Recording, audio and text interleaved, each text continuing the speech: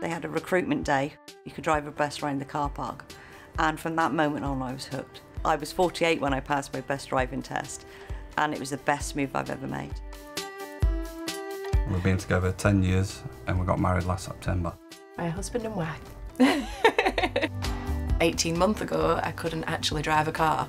So that was my aim. I was like, right, I'm gonna stick at this, get my car licence. 12 months experience and here I am now.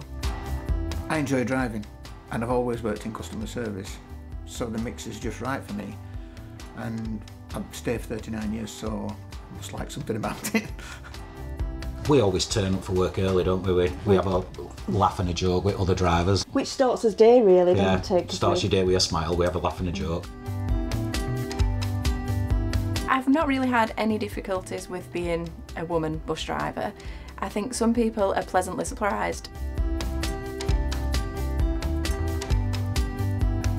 My wife gets a free pass and she can get on any stagecoach buses.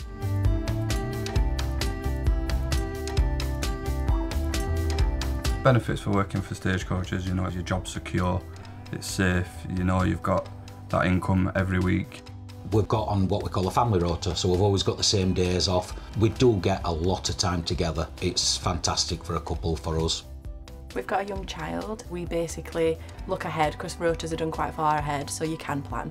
On the outlook, it does look like it might be quite hard, but actually they're really helpful and they will, they will give us a hand with shifts if they can, and it, it works. It really does work for us.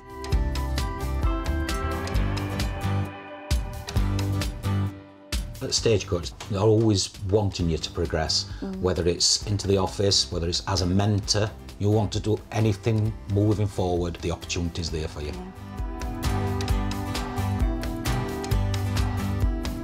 I would definitely recommend a bus driver to anybody doing any other job. I just love it.